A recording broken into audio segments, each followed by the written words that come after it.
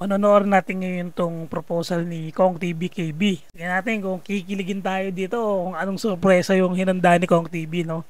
Ito, simulan na natin. Let's go! Laro po tayo mag-games. Dahil po dyan, nag-withdraw po ako ng 50,000. Ah, po nagpapagame sila. Mo, hindi 50,000. 50,000 pag Sige games. na lang natin. Ang kailangan nyo lang gawin dito ay ilabas ang inyong cellphone. Taas lahat. Kailangan mo nakataas lahat. Ngayon, ilagay nyo sa video. Ilagay nyo sa video. Tayong games to. Inalagay sa video. Tapos, i-broadcast nyo. Na-broadcast na lahat. Gagayahin lang mga dito guys. At tumawa ay talo, okay? Teka lang. Tumawa Okay ay talo. Na-broadcast na. Nyo ngayon ang video. At itutok sa mukha nyo. Guys, ang game na Ito na kaya yon natin mo ay bawal tumawa, okay? Ang tumawa ay matatalo. Nakarecord, na kayo? Oh, okay na. Okay na, okay na. Para may video lahat. O sige. Tira. Tira. Mo gusto niya kaya to?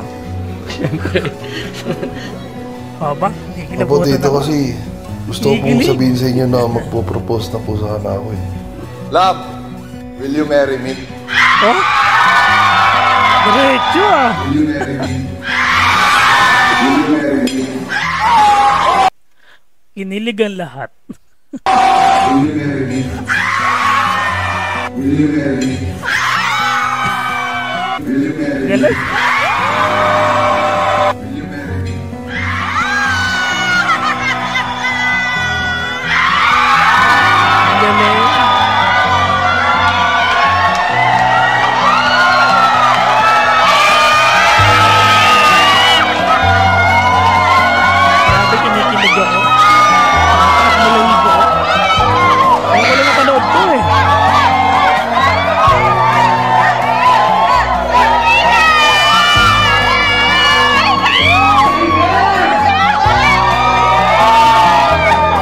Yes, yes, yes, yes, yes, yes, yes. Siya pa daw siya. Nagtatanong, nagtatanong ka sa akin nakaraan kung ano yung regalong ah, gusto mong ah, yung tina, tina, tinatanong mo ako nakaraan kung ano yung gusto kong regalo sa'yo. Sabi ko sa'yo, wala. Ano ang wish mo sa birthday mo? Wala akong wish maging malusog lang si Kidlat. Masaya na ako doon. Pero sa totoo lang, ito talaga yung nasa isip ko matagal na panahon na. Nag- Pinaghahandaan pala ni Kong, no? Naghanap lang ako ng tiyempo. Iniisip ko paano, pero sabi ko, bahala na. Kaya ngayon, pinapunta ko sila tito sa sila tita. Ah, ito yung pinakamaganda regalong ibibigay mo sa akin ngayong birthday ko. Love! Ulitin ko yung tanong, will you marry me?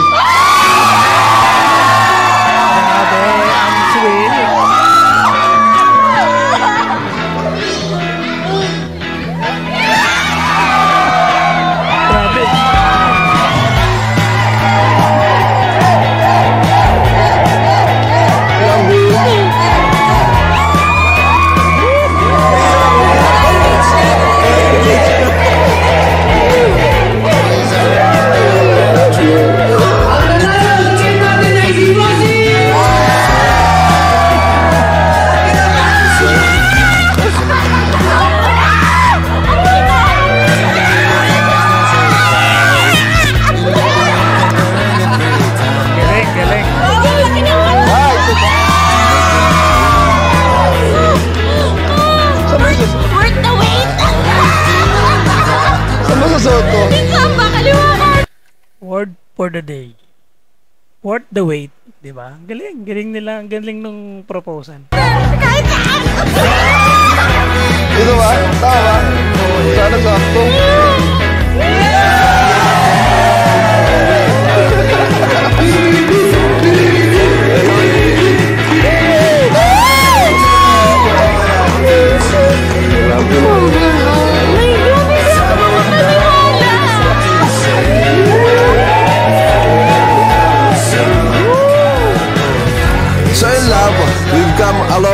But a lot to go.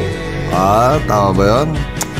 Solid kasi naging kita sa mga pinakamahirap na parte ng buhay ko at salamat sa Diyos na ikaw ang kasama ko ngayon sa mga pinakamasasarap na parte. Swerte ko kasi sa iyo ko kailangan tanungin yung Will you marry me? Ah, Bukod kasi sa sure ako na oo ka sa akin ay wala na akong may hiling pa sa isang babaeng katulad mo.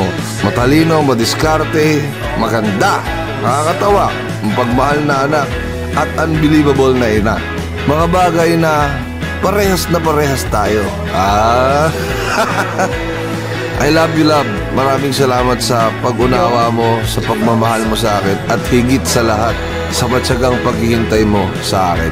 Pero kung meron akong mamimiss after nito, yun ay walang iba kundi ang mga kataga mo sa akin. Kasalan mo na ako. Ano, ulitin mo nga? Wala! Ano nga? Ayoko na. Ang Galing, no? Galing talaga nung love story nila. So, nakakakilig. Anyway, Kong B, congrats.